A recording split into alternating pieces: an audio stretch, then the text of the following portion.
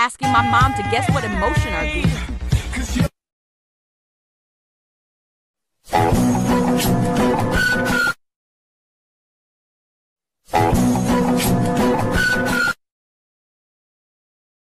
you